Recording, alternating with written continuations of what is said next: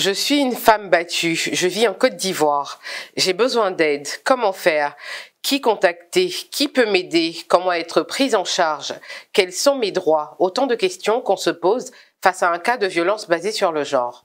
Nous recevons aujourd'hui pour en parler Madame Bessie Josiane, directrice du programme national de lutte contre les VBG au ministère de la Femme, de la Famille et de l'Enfant.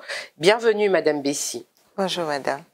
Alors, euh, avant de commencer, qu'est-ce qu'une violence basée sur le genre? Ben, Il faut dire qu'une violence basée sur le genre, c'est une violence qui est exercée sur une personne, ça peut être un homme ou une femme, du fait des différences sociales prescrites entre l'homme et la femme dans la société. Et il faut dire que la violence, là, n'est pas voulue, n'est pas souhaitée par la personne qui l'a subie. Voilà simplement comment on pourrait expliquer cette violence basée sur le genre. Donc il faut dire que la société est construite et il y a des normes qui existent dans nos sociétés. Et ces normes-là inculquent des conduites ou des attitudes, soit à l'homme, soit à la femme. Et donc, la confrontation de ces attitudes, de ces comportements, peuvent entraîner des violences, soit à l'endroit de la femme, soit à l'endroit de l'homme. Donc, c'est pourquoi qu'on parle de différence sociale entre l'homme et la femme, qui a été certainement inculquée par la culture, par l'éducation et autres. Alors, quel type de, violence qualifie-t-on de violence basée sur le genre? Ben, La Côte d'Ivoire a défini six types de, de violences basées sur le genre pour pouvoir collecter des données en lien avec les partenaires qui, l'appuient justement. Et donc, on a défini six types. Le premier type, c'est le viol. Donc, on pourrait définir le viol comme toute pénétration vaginale, anale, buccale, contre la volonté de l'individu, parce qu'il faut toujours intégrer le principe du non-consentement de l'individu. Et donc, sous la pression euh, du, de l'auteur, ces personnes ont subi ces violences qu'on pourrait caractériser de viol. Il y a également l'agression sexuelle. L'agression sexuelle, c'est tout ce qui concerne les attouchements, euh, taper une dame ou un enfant aux fesses, à but sexuel évidemment, et toucher ses seins, sa poitrine et tout à but sexuel. Donc c'est ce qu'on pourrait qualifier d'agression sexuelle. Il y a également le mariage forcé. Le mariage forcé, c'est un mariage qui est contracté entre deux personnes qui ne sont pas consentantes. Une ou deux personnes n'étant pas consentantes et ayant moins de 18 ans. Parce que le mariage en Côte d'Ivoire est pour des personnes ayant 18 ans et plus. Donc, quand on a moins de 18 ans, on parle de mariage d'enfants. Quand on a au-delà de 18 ans, on parle de mariage forcé parce que même une personne qui a au-delà de 18 ans peut être contrainte à rentrer dans un mariage pour lequel elle n'est pas consentante. Il y a également la violence physique. La violence physique, c'est une agression physique, c'est porter des coups à un individu. Ça peut être la femme, ça peut être l'homme, vraiment sans sa volonté et qui peut lui laisser des marques indélébiles euh, sur le corps, mentalement, psychologiquement également. En dehors de ça, on a également le déni de ressources, d'opportunités ou de services. Le déni d'opportunités ou de services, c'est le fait de refuser l'accès à une personne du fait de son sexe, soit au travail, soit à une activité génératrice de revenus, soit à une chance pour aller à l'école, par exemple. On refuse généralement aux filles d'avoir accès à l'école. On préfère inscrire le, petit garçon à l'école et demander à la petite fille qu'elle reste à, aider sa mère à la cuisine. Donc ça, c'est un déni d'opportunité. Le déni de service, c'est refuser l'accès à des soins, quel que soit à une personne. Et généralement, ce sont les femmes. Vous avez un homme qui refuse, par exemple, que vous allez vous faire soigner à l'hôpital, que vous rencontrez un gynécologue lorsque vous êtes enceinte, par exemple. Et donc, tout cela euh, porte atteinte vraiment à la dignité de la femme. Et euh, la dernière violence, c'est la violence psychologique ou émotionnelle, qui, elle, est tellement insidieuse, qui n'est pas perceptible, mais qui est transversale à toutes ces violences-là. Parce qu'une personne qui est, qui est victime de viol, d'agression sexuelle, de mariage forcé et autres, cette personne a subi, évidemment, la violence psychologique. Donc, ce sont des injures. On peut être traité de n'importe quoi, d'un objet et tout ça, régulièrement. Et ça affecte le mental de la personne qui l'a subi. Et donc, il faut dire que pour la plupart du temps, ce sont les femmes qui en sont victimes et les enfants qui en sont victimes. Au vu des données statistiques nationales, la plupart des victimes, ce sont les femmes et les enfants. Très bien. Alors, justement, face à tout ça, quel est le rôle du Programme national de lutte contre euh, les violences basées sur le genre. D'accord. Il faut dire que d'abord, le, ministère de la Femme, de la Famille et de l'Enfant a décidé de mettre en place un programme parce qu'il s'avérait nécessaire d'harmoniser les interventions et de mettre l'État face à ses responsabilités parce que plusieurs années auparavant, nous étions un comité de lutte contre les violences faites aux femmes et aux enfants. Et on s'est rendu compte qu'il faut aller plus loin. Et donc, le ministère, avec l'accord du gouvernement, a mis en place le programme de lutte contre les violences basées sur le genre pour adresser véritablement la question de la violence basée sur le genre, qui prend aussi bien en compte les femmes, les hommes que les enfants. Et donc, c'est pour dire que personne n'est laissé pour compte. Et notre mission, c'est pouvoir accompagner les politiques transversales mises en place par le gouvernement du Côte d'Ivoire, renforcer les capacités des acteurs qui interviennent dans la prise en charge, dans la réponse des cas de violence basée sur le genre, appuyer la mise en place de, mécanismes structurels pour prendre en charge les survivants de VBG, accompagner la prévention pour la lutte contre les violences basées sur les gens, mais également mettre en place des dispositifs législatifs et réglementaires pour lutter contre ces violences basées sur les gens. Voilà un peu le rôle. Et donc nous assurons ce rôle de coordination des interventions, d'harmonisation des interventions pour prendre en compte les cas de violences basées sur les gens au niveau national. Très bien. Alors vous, vous le disiez tout à l'heure, il y a aussi des hommes qui sont concernés. Euh, est-ce que vous recevez des cas d'hommes euh, qui sont victimes de violences basées sur le genre? Et pour les femmes, comme vous le disiez également, euh, c'est la tranche la plus touchée, les femmes et les enfants. Comment vous traitez ces cas-là au quotidien? D'accord. Donc, on va parler certainement des recours. Il faut dire qu'effectivement, on a des hommes. Sur nos données statistiques, on a 98% des femmes qui sont victimes de violences basées sur le genre.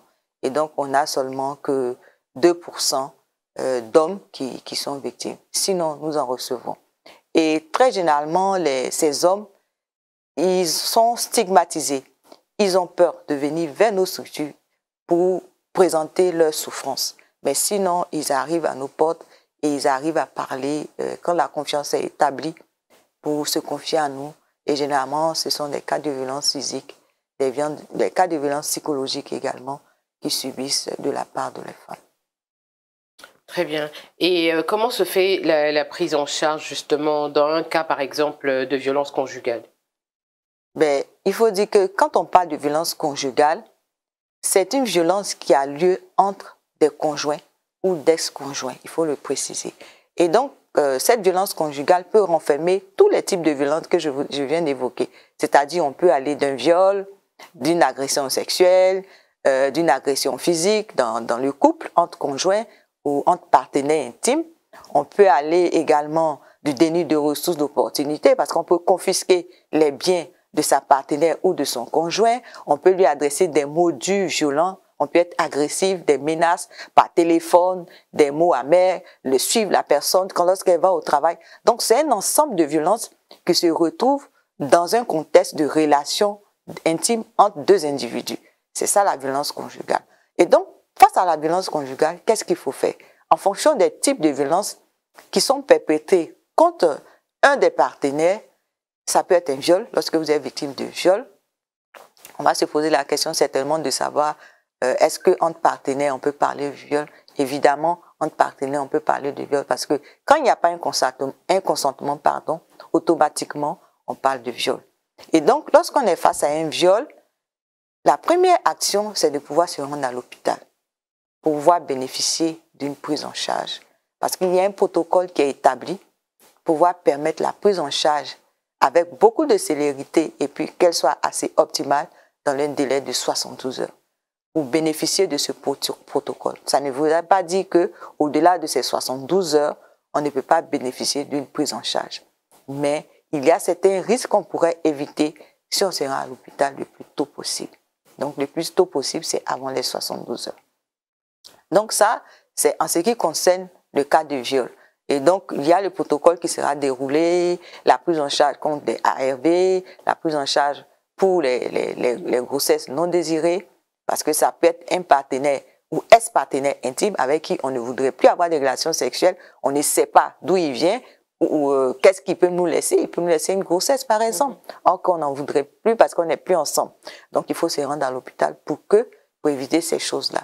Et, le VIH, si on n'est pas déjà malade, euh, une grossesse non désirée, euh, pour, si évidemment on est dans une, une période d'ovulation pour la femme, éviter ces, choses-là, éviter également l'hépatite et toute autre maladie qui pourrait nous, nous, nous, affecter. Donc, dans ce délai, il faut s'y rendre. Et puis, il y a la prise en charge de, des soins physiquement. On peut être affecté par des, des, bleus et tout ça. Donc, il faut pouvoir se rendre à l'hôpital. Il en est de même pour la violence physique. Lorsqu'on est agressé physiquement, la première réaction, c'est de se rendre à l'hôpital. Parce que on peut subir euh, une hémorragie, hémorragie interne, les blessures sont assez graves, donc il faut parer au plus pressé. Et le plus pressé, c'est de se rendre à l'hôpital. Donc vous allez dans un service de santé et vous êtes pris en, charge.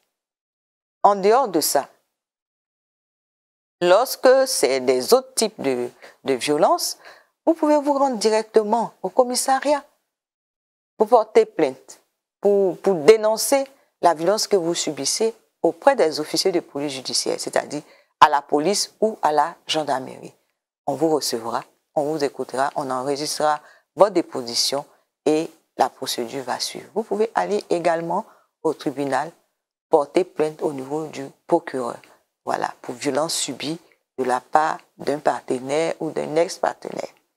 Vous pouvez également aller dans les services sociaux pour rencontrer les travailleurs sociaux qui sont habilités à vous accompagner dans toute la procédure, à vous soutenir également du point de vue psychologique, de vous apporter l'aide dont vous avez besoin pour une résilience ultérieure.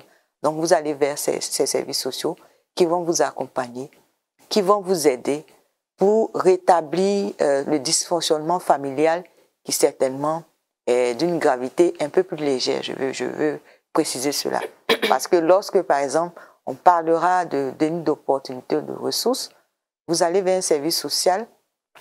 Le mari pourra être convoqué avec lequel on pourra échanger pour l'amener à la raison, pour qu'il puisse s'occuper des enfants, qu'il puisse prendre ses responsabilités au sein de la famille, qu'il puisse jouer pleinement son rôle au sein de la famille.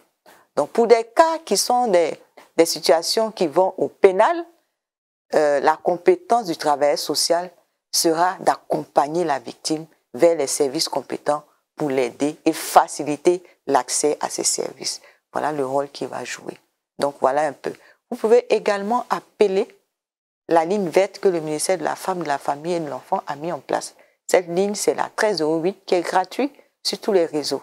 Donc vous pouvez appeler. Vous aurez au bout du fil un psychologue, un travailleur social qui va vous aider et qui va vous accompagner également, qui va vous orienter et qui peut même vous recevoir pour échanger avec vous, pour voir comment vous amener à une certaine résilience. Parce qu'il faut savoir que dans ces cas de violence, très généralement, les victimes ont une baisse de l'estime de soi. Des victimes ont une tendance certainement suicidaire. Des victimes ont une, une tendance à vouloir tout abandonner et elles sont désemparées. Donc il faut accompagner ces victimes pour les aider à une, meilleure résilience. Donc voilà un peu le travail euh, que nous faisons au quotidien, en tout cas en ce qui concerne le ministère de la Femme et en lien avec les structures de prise en charge des cas de violence basée sur le genre.